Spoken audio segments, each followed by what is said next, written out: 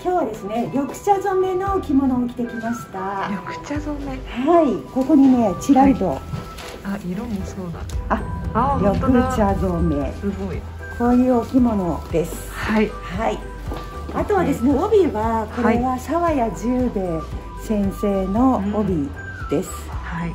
で鳥がのしめん？鳥なのかな？鳥？ですかね。鳥？ね鳥かな？ここ葉っぱ加えてるような鳥の感じですね。はい。です。綺麗。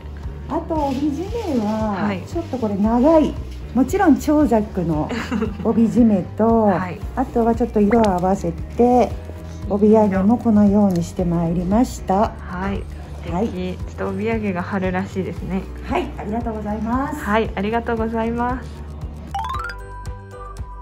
はい、今日はちょっとランチ会なのでどんな着物にしようか悩んだ結果お召しになりました。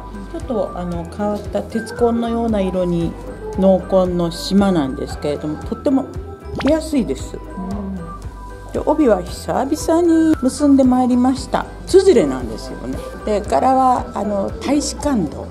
名物切れの中にある柄なんですけれどもね。帯に沿わせた感じで帯揚げを選んでちょっと寂しいので島の帯締めにしてまいりました。黒でしまっていいですね。いいですか、はい。ありがとう。後ろはどうでしょうか？はい。ですか？あ綺麗ですねとてもが出ました。はいありがとうございます。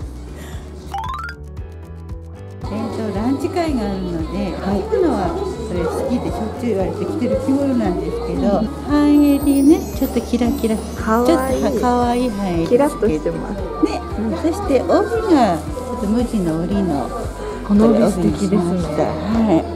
今日初めて締めてちょっと硬硬かったんですけど、で帯地帯留めとグリーンの可愛いでしょ。ベネチアンガラスですはい、ね、これは、はい。